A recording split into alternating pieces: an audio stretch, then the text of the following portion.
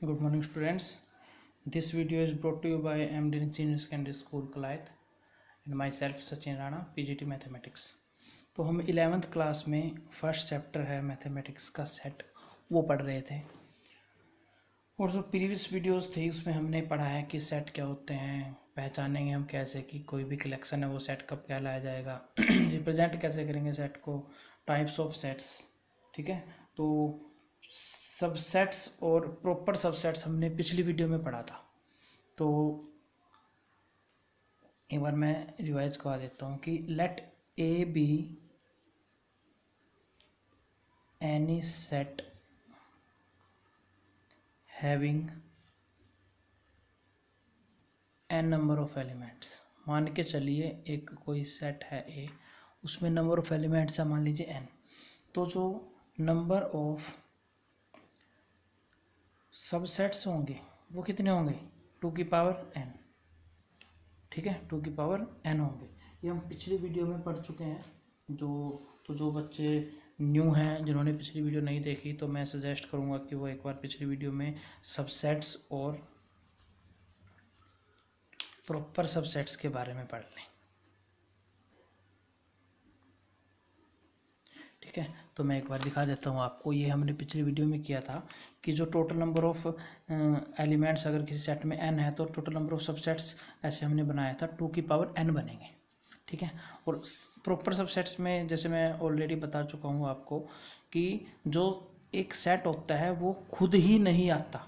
जैसे उसके हमने, अगर जैसे हम बात करें, ये वन टू थ्री एक सेट है ये, जिसमें नंबर ऑफ़ एलिमेंट्स हैं, जो थ्री हैं कार्डिनल नंबर है इसका थ्री तो इसके टू की पावर थ्री मतलब एट सबसेट्स बनेंगे। ठीक है तो ये सारे सबसेट हैं। लेकिन ये जो एस एट है वन टू थ्री ये सबसेट तो है, लेकिन जो इसको हम प्रॉपर नहीं बोलेंगे तो ये प्रॉपर सबसेट में नहीं आएगा तो ये कैंसिल हो जाएगा यहाँ से। तो जो total number of proper subsets कितने रह जाएँगे फिर? एक कम हो गया तो ऑब्वियस है एट माइनस वन कितने रह गए? सेवन आ गए। तो एक फॉर्मूला बन जाएगा हमारा कि नंबर ऑफ़ प्रॉपर सबसेट्स हैं जो, वो होंगे टू की पावर एन सॉरी टू की पावर एन माइनस वन ठीक है? तो ये जो फॉर्मूला है हमारा, ये होगा टू की पावर एन माइनस वन हमारा total number of proper subsets ठीक है? तो इसके बाद हम आज नेक्स्ट स्टार्ट करते हैं, जो टॉपिक है हमारा नेक्स्ट वो है पावर सेट पावर सेट तो जैसे कि आपको पता है पावर सेट पावर सेट का मतलब है सिंपल सी बात है कि कोई भी सेट है जो, ठीक है? उसकी पावर पावर का मतलब होता है कि जैसे हम अगर कुछ जैसे खा रहे हैं खाना तो खाने से हमें क्या मिलती है? पावर मिलती है। तो क्यों मिलती है? क्योंकि खाना खाने से हमारे अंदर प्रोटीन विटामिन कार्बोहाइड्रेट्स सारी चीज़ें चलेगी। तो पावर सेट का मतलब होता है एक सेट उसके जितने भी सब सेट होंगे वो सारे एक सेट में आ जाएँगे। तो उस सेट को हम जिसके भी सब सेट थे, उसका क्या बोलेंगे? पावर सेट बोलेंगे। तो आप लिख सकते हैं कि it is the set of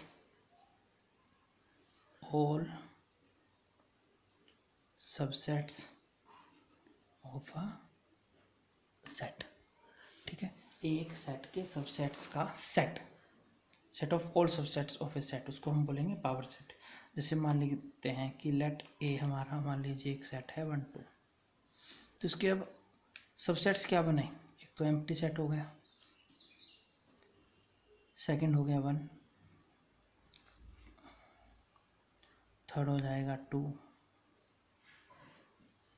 fourth हो जाएगा वन टू अब देखिए, ये इसके चार सबसेट हो गए, क्योंकि इसका कार्डिनल नंबर टू था तो two raise to power two four हो गया. तो अगर मेरे को लिखना है पावर सेट ऑफ़ ए तो power power set is the set of all subsets जितने भी सबसेट्स हैं एम टी हो गया वन हो गया टू हो गया थ्री हो गया, ये सारे सॉरी वन कोमा टू हो गया, ये हो गया।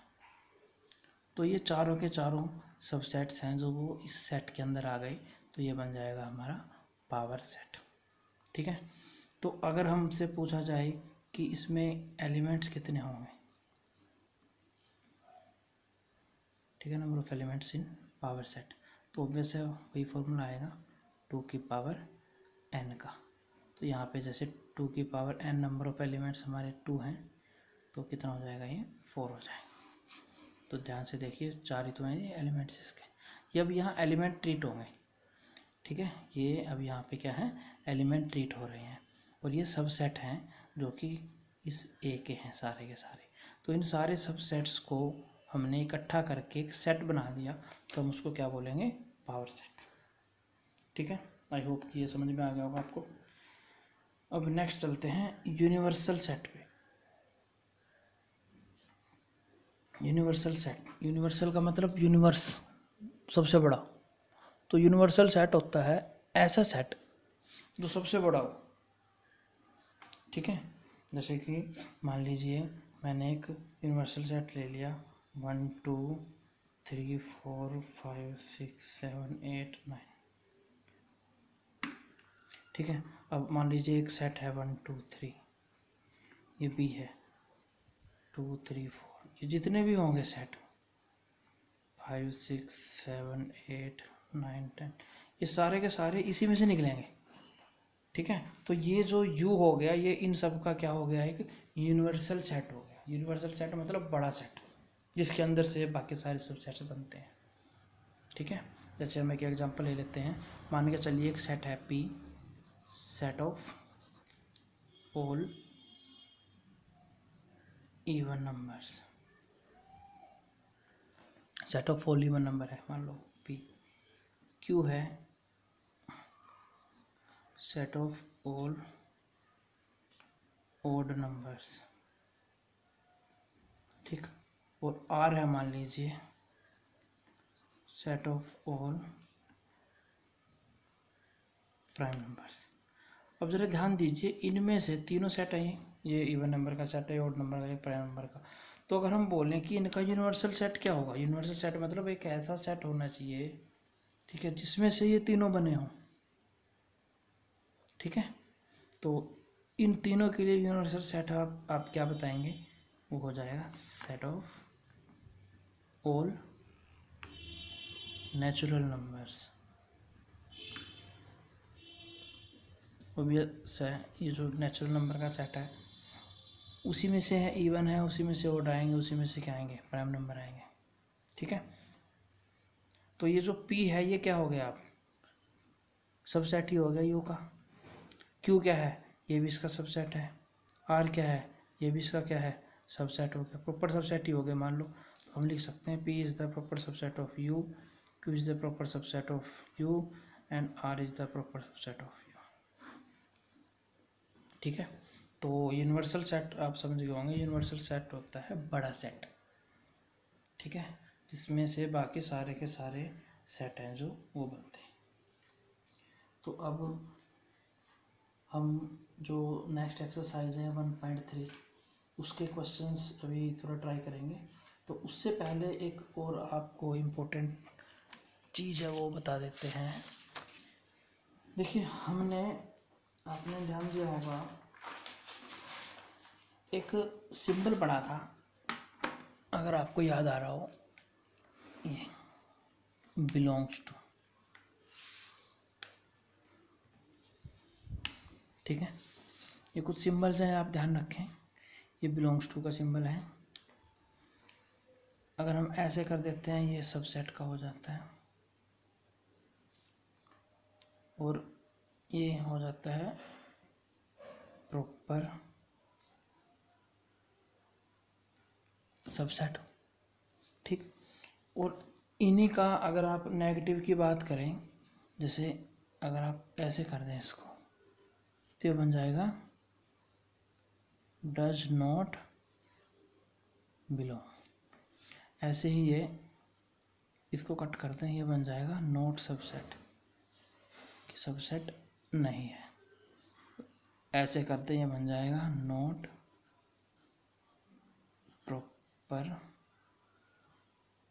सबसेट ठीक है? तो कई बार क्वेश्चन आ जाते हैं आपके पास, जैसे कि मैं एक क्वेश्चन ले लेता हूँ कि मान लीजिए कि लेट ए आपके पास है। One two three four five ऐसे। ठीक है? तो अब आपके पास क्वेश्चन क्या आएँगे? जैसे फ़र्स्ट सेकेंड था।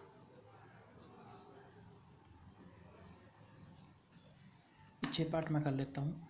तो पहला है, जैसे वन और यहाँ फिलअप है यहाँ पे ए लिखा हुआ है। ठीक है? और यहाँ पे ये वन है। लिखा हुआ फिलअप है और मैं लिख दूँ यहाँ पे थ्री यहाँ ये लिख दिया हमने। ठीक है? तो एक लिख लेते हैं इसे फोर या ए लिख दिया। ये फोर हो गया। या ए लिख दिया। ठीक है? और फोर फाइव लिख दिया। ठीक है? आपको अब क्या करना है? आपको सिर्फ़, मान लीजिए सिर्फ़ ये दो सिंपल यूज़ करने आपको यूज़ करने हैं ओनली एक तो बिलोंग्स टू और एक ये इनको यूज़ करना है इनमें। तो आप क्या करोगे? देखो, सबसे पहले ध्यान दीजिए, इसमें जो ये हम लिखते हैं ना ए ठीक है, ये सेट है। और ये जो लिखे हुए हैं वन टू और ये एक सेट बना हुआ है थ्री फोर फाइव ध्यान रखिए ब्रैकेट्स जो ये ब्रैकेट्स हुई करली ब्रैकेट्स इनके अंदर कुछ भी आ जाए लिखा हुआ ध्यान से सुनिए, काफ़ी इंपॉर्टेंट चीज़ बता रहा हूँ। इन ब्रैकेट्स के अंदर कुछ भी आ जाए लिखा हुआ, कोमेज लगे हुए हों अगर तो वो सारे एलिमेंट्स होंगे इस सेट के। एक चीज़, ठीक है? दूसरी चीज़, ब्रैकेट्स करली ब्रैकेट्स जहाँ भी लग गया, वो एलिमेंट की बजाय सेट बन जाएगा। जैसे कि हम देखते हैं जैसे वन है। वन का ए से क्या रिलेशन है? अब इनमें से कौन सा सिंबल आएगा? वन बिलोंग्स टू ए और one is the proper subset of A ध्यान रखें वन पे देखो, कहीं पे भी ब्रैकेट्स नहीं लगे हुए। तो इसका मतलब ये क्या है? सेट तो यह है ही नहीं। ठीक है तो हम लिखेंगे वन बिलोंग्स टू ए ठीक है? सेकंड पार्ट देखिए इसका। सेकंड पार्ट में यहाँ पे देखिए वन पे ब्रैकेट्स लगी हुई हैं। इसका मतलब क्लियर है कि ये एक सेट है। मतलब सबसेट है। किसका? ए का। तो यहाँ पे आएगा सिंबल ये वाला। ऐसे फोर देख लीजिए। फोर क्या है? ऑब्वियस है। इस पर जब ब्रैकेट्स लगी नहीं हुई एलिमेंट है एलिमेंट के लिए हम ये लिखेंगे। आप याद रखने का तरीका, आप जनरली याद रख सकते हैं। जैसे ये है, ये एक शेप ये बता रहा है। तो ये एलिमेंट के लिए रिप्रेजेंट करेंगे। ई फॉर एलिफेंट या एलिमेंट आप याद रखने का तरीका है, जैसे भी याद रखें, ये जो शेप है, ये एलिमेंट क्या बताएगी? और सी सी मतलब सेट वैसे सेट तो एस टी होता है, लेकिन हम वैसे याद रख सकते हैं सी मतलब से सेट से तो ये हम सेट के लिए यूज़ करेंगे सी को। तो यहाँ पे फोर क्या है? फोर एलिमेंट है तो एलिमेंट तो ये लगाएँगे। अब यहाँ देखिए, ये जो फोर है, ये ब्रैकेट्स लग गए। तो ब्रैकेट्स लगते ही क्या बन गया? सेट बन गया तो ये सब सेट हो गया तो सब सेट है तो हम क्या लिखेंगे? ये लिखेंगे। फोर फाइव क्या है? ये भी क्या है? इसके सबसेट है तो हम ये लिखेंगे। अब यहाँ आ जाइए। ये काफ़ी इम्पोर्टेंट है। यहाँ बच्चे कंफ्यूज हो जाते हैं। बच्चे सोचते हैं कि ये ब्रैकेट्स लगी हुई है तो इसका मतलब क्या है ये? वो डायरेक्ट कर देंगे सबसेट जो कि गलत है। क्यों? क्योंकि आप सेट के अंदर देखिए, जो ये थ्री है, इस पर ऑलरेडी ब्रैकेट्स लगे हुए हैं। तो यहाँ पे ये एज ए एलिमेंट काउंट होगा। ये एलिमेंट है। तो जो ये थर्ड क्वेश्चन है हमारा, इसमें जो ये थ्री है, ऐसे हम लिखें, ये बिलोंग्स टू आएगा एक। अगर इस पे हम ऐसे लगा दें।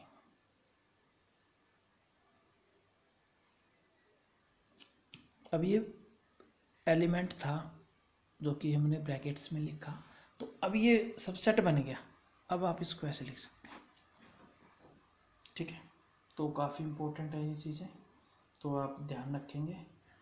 तो नेक्स्ट जो एक्सरसाइज है आपकी, वो ज़रा एक बार देख लेते हैं। वन पॉइंट थ्री एक्सरसाइज देखिए।